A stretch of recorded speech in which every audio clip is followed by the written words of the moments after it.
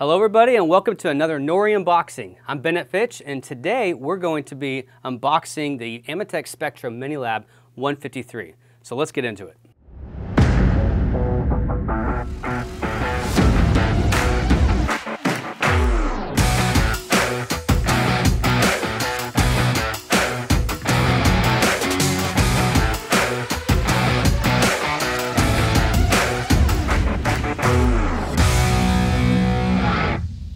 All right, guys, I'm excited to get into this because, because this is one of the most comprehensive oil analysis setups for on-site laboratory needs. And you can see a few things here. Maybe you're familiar with some of this because this is uh, one of the most popular ways to set up an on-site lab. It's called the Minilab 153, but the few key pieces you see here, this is an elemental spectrometer here.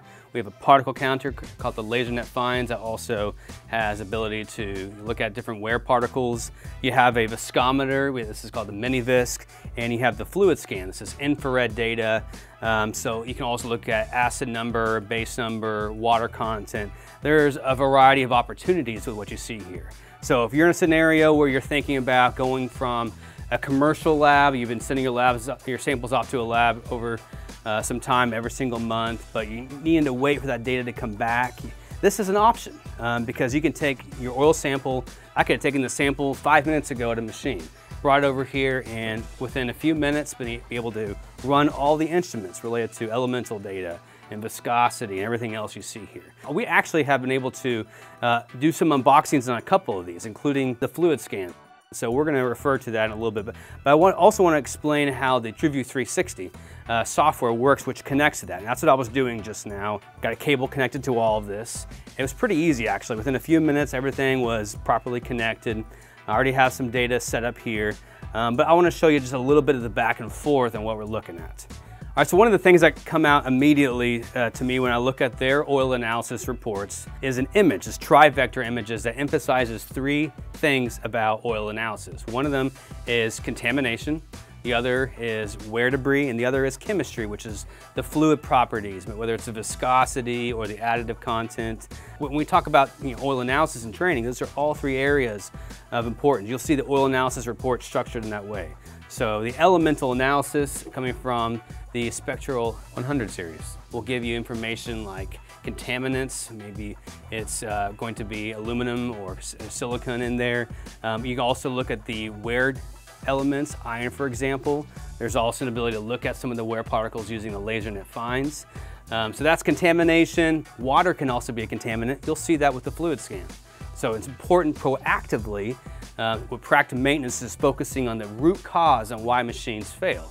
The big one there is contamination. Water contamination, dirt, dust, other airborne contaminants. That can be monitored on your oil analysis report by seeing what's in your oil sample. Um, and of course, you also want to see the changing chemistry properties of the oil itself, whether it's the viscosity, the most important physical property of the lubricant. We're going to see that with the MiniVisc or the additive levels. Coming back to the elemental analysis, you're going to potentially trend some of the additives depleting over time if you know it's being exposed to certain things that cause it to age. So you're seeing everything you need to know about the oil through this comprehensive mini lab system, Mini Lab 153. Now just as a note, this is, a, this is one of a family of products. There's smaller versions of this um, alternatives to having uh, this and this, you might instead use a FerroCheck, which looks at the concentration of, of iron in oil samples. So depending on you know what you know makes sense for your, your setup of your facility, you can get versions of this, but this is definitely one of the most comprehensive. Now let's start off with one here. We have the MiniVisc. So the way this works is once you get it started, you have these little pipettes. I'm not gonna do everything here, but I would take a little sample here with the pipette. It doesn't take very long. Um, and then I will drop it here on this instrument and then I can come over to the TrueVu system and say, run the sample. Okay, so in the system, in the TrueVu 360 software, it's pretty straightforward. This is going to provide a fast, accurate measurement. You know, we're looking at it at 40 degrees C, kinematic viscosity.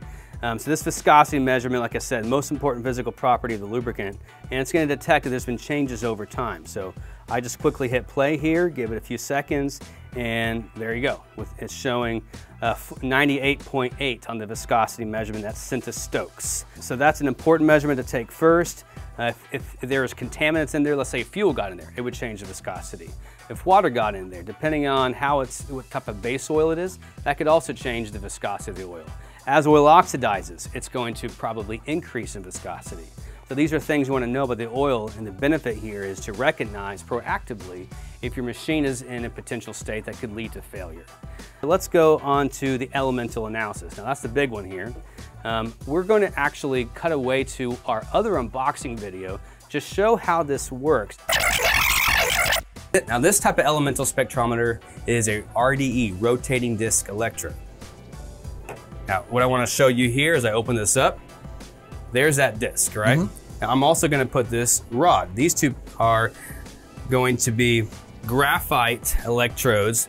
And once I put them at a certain width here, I'm gonna lift this up and down, there's going to be a spark created between those two, right? Okay. And that spark is going to burn oil. That oil that's burned is going to create light as it burns, and that light is going to be picked up here by these optics and analyzed by the CCD chips in the back.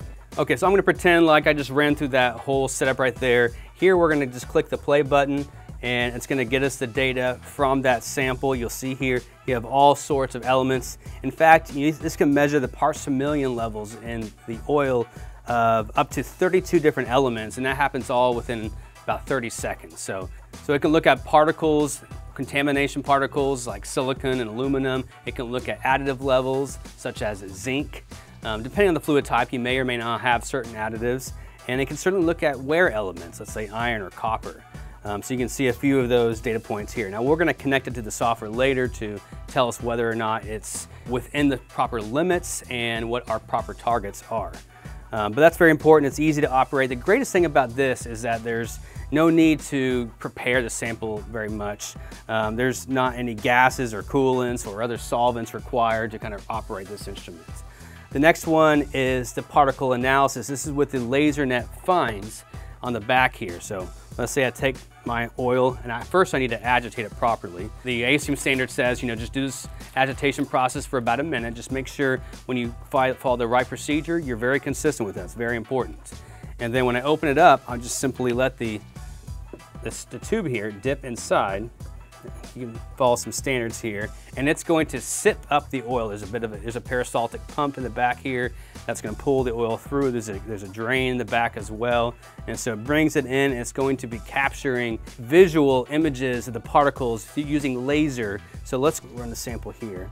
All right, you'll notice here that not only does it give you the ISO 4406 particle count, uh, for four microns or greater, six microns or greater, 14 microns or greater. Um, and, that will, in this case, was a 19, 16, 12. Um, that's coming from here, but you also get these images. You see images showing you a bit of the fatigue, the cutting, the sliding, the non-metallic, the, the, potential for water um, in the oil, water droplets, fibers, and there's more. It categorizes the various particles that it sees in here um, so that you know what potential wear mode is occurring. This is very important from the analysis side of the oil analysis so that you can properly figure out what the problem is. Not just get data, not just detect that there is a problem, but know what the possible problems are on the machine. So that's very important here with the LaserNet fines. Uh, and the last one here is the fluid scan. So the, the way this works, you're also going to use the little pipettes here. You're going to open this up right here and you're gonna add a drop of oil. Now, assuming that's been wiped off here, we have these little wipes here to keep it clean. You'll do that after you're done as well. You put a drop of oil, you close it up, and when you put it in there, just like some of these other instruments, you hit play over here, meaning it's gonna run this fluid scan, and within 30 seconds, you're going to get the data. In this case, it's going to relate to maybe acid number, or base number, or water content. So this is infrared technology that looks at the molecules of what's in the oil that should be there or maybe shouldn't be in there, including potential indicators of oxidation or nitration or sulfation and other molecules associated with certain types of antioxidants. And the list goes on, including some contaminants. Um, so this is a very comprehensive tool by itself, and you can watch um, an unboxing we had just on the fluid scan because there's a lot to unpack there. Um, but collectively, the, the main message here is that now you're able to, on a single sample, within a matter of five minutes or less, go through the steps to collect all this data from a machine you might have collected that sample with the last 30 minutes. And then you have it all right here in the TrueVu system, TrueVu 360. Now collecting the data here is pretty straightforward. It's just showing you the data. When you're ready, of course, you just hit upload.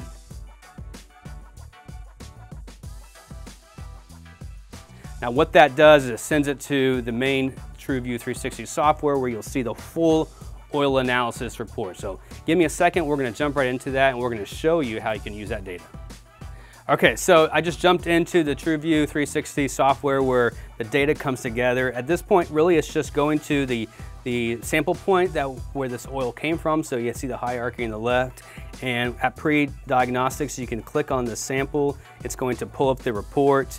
You'll see all the data you need with the observations, the diagnostics, the actions, recommended actions. You can see things are already showing up with, at red. So that's based on the limits that already were established. Those are all currently set up in the software already based on the OEM recommendations and following ASTM procedures. Um, but all that's customizable. So you can go in and make some changes whenever you'd like. But they have it organized based on the what the three categories of oil analysis, contamination, the chemistry or fluid properties, and wear debris. So that's all set up there on this oil analysis report. The, even the tri-vector image here in the top is dynamic. So those three areas, those three zones will go in or out depending on the severity of the sample that came in.